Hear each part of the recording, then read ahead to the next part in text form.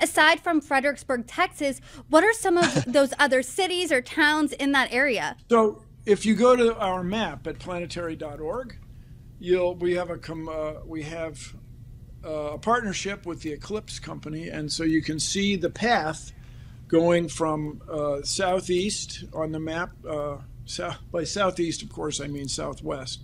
Southwest on the map toward the northeast, and it goes through about the where you say 0.5 percent of the world's population, about 40 million people live in the path. Now, understand, eclipses happen every year and a half, somewhere on Earth.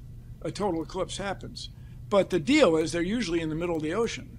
You know, most of the Earth is covered with water, and so most total eclipses happen where nobody lives.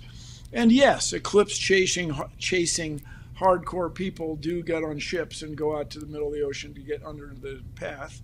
But this is going right over Mexico, Canada, U.S as we like to say, don't miss it if you can. That's don't kind of a joke.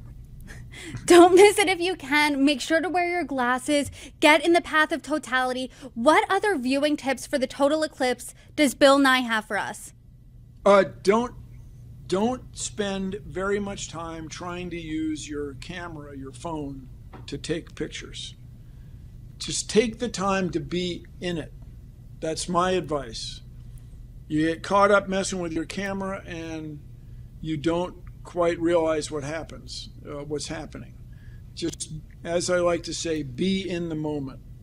And uh, last one I saw was in 2017, and I saw something I've never seen before, where you look way, way over to one side of the path, and you can see that there's sunlight way, way the heck out there. It's not like a sunset, it's a different thing. And I mention this because during this eclipse, there'll be something I've never seen before. And I don't know what it's going to be.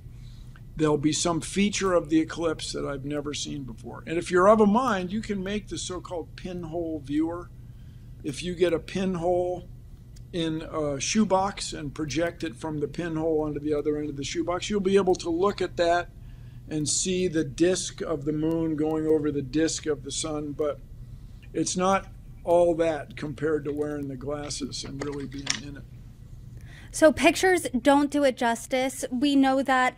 What else? Well, do... picture somebody. NASA will be taking pictures. Z- one zillion people will be taking pictures.